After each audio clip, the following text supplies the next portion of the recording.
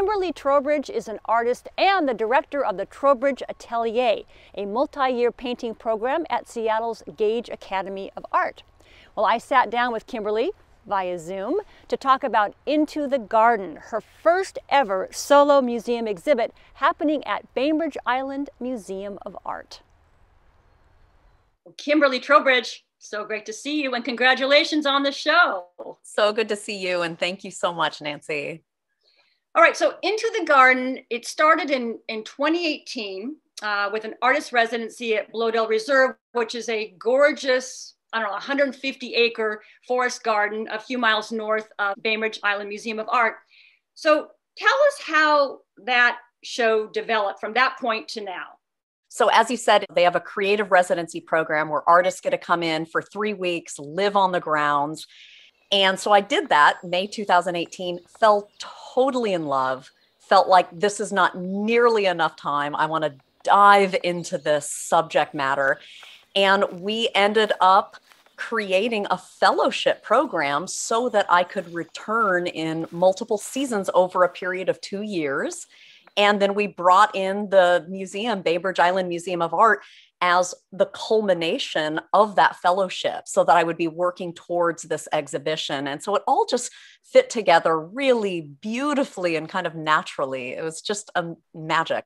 So there are around 35 paintings, I think, in the exhibit, and yep. they all began, began, underlined, in the style of plein air. So describe what is plein air.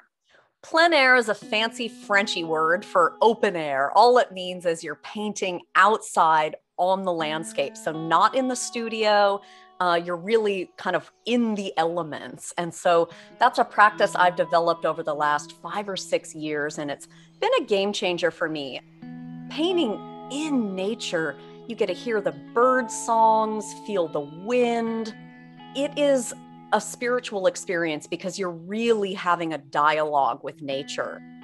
My whole artistic practice right now is kind of the plein air lifestyle in a way. It's like a way of life or a philosophy of like this idea of plein air your life. What if everywhere you go, you are attentive and present and noticing what's around you? That's a beautiful way to put it. Extremely meditative. Yeah. Extremely in the moment how did you decide uh, which uh, specific locations to paint? Okay, that's a good question. Yeah, because as you said, Bloedel is 150 acres and all of it is amazing. Um, partly it was practical. So, where I was living on the gardens, this little triad of what I call theaters or gardens near that space were the ones that really excited me the most and were easy for me to pack up with my gear and kind of go out to. And so, I really fell in love with the Camellia Trail, the reflecting pond and the moss garden and they're all very different spaces did the immersion in nature in this period of time, and we're talking basically three years, did that change you kind of in how you approach painting? Yes, actually. Um, there was a particular instance that happened early on in 2018 where I was in the Camellia Walk garden. I was painting, you know, really rich colors. I'm a real colorist. I love color and something wasn't feeling right. And I came back to that same site the next day and found myself covering over all of my rich colors with neutral tones. And so I started doing a lot of what are called tonal works or just value based works, black, white, and gray, which was very confusing to me for a while. But magically, I then learned that from the groundskeeper at Bloedel that Prentice Bloedel, who designed the gardens, was actually colorblind. And so I felt this kind of interesting voodoo happening where I was responding to rhythm, form, and shape, maybe more than the actual color. There are three different versions, and maybe more, but I noticed three different versions of the, I think, the same tree trunk, all of them interesting. Why did you want to paint that tree or other um, objects as well more than one time.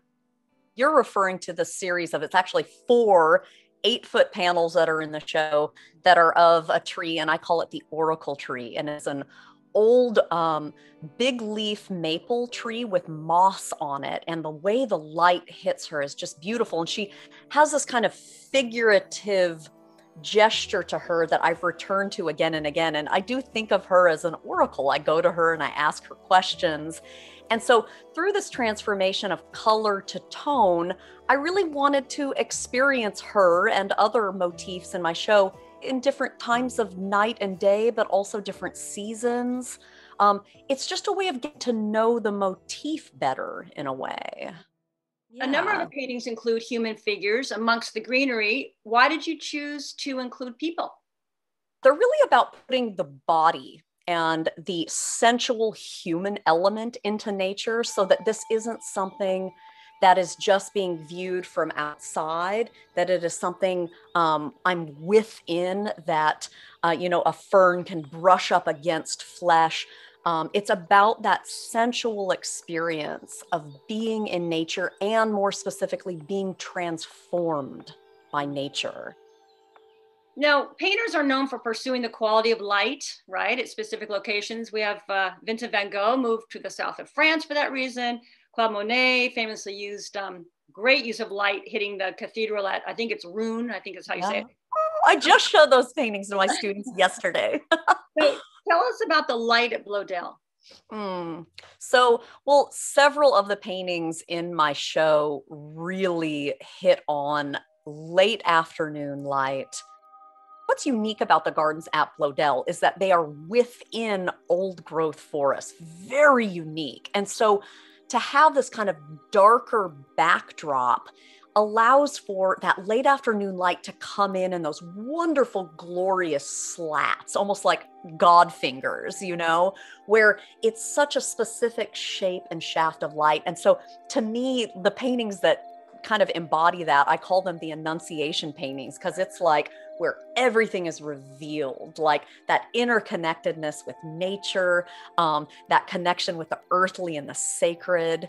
And so that that particular time of day is very exciting to me. You know, you were very involved in the installation, yeah, uh, mm-hmm. of the exhibit BIMA. Um, and I was struck, uh, speaking of um, that shaft of light, I was very struck by the juxtaposition of the black and white figures next to the painting of that bright shaft of light coming through yeah. the green forest. So, how do you decide what goes where? Mm, that's a good question. And so, I was very involved in the installation. I even built a to scale model of the museum um, two years ago that I've been playing with little tiny versions of my paintings um, and moving them around, knowing that when I got in the space, things would likely change.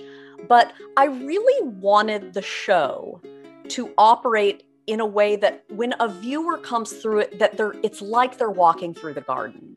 I was really thinking about each time you see a painting and you kind of move around a corner, that another pairing of relationships would occur in a similar way to walking through a garden where you're focused on one thing and then you turn a corner and a new space or relationship opens up. So I was really thinking about the garden as a template for how to experience the paintings in the show.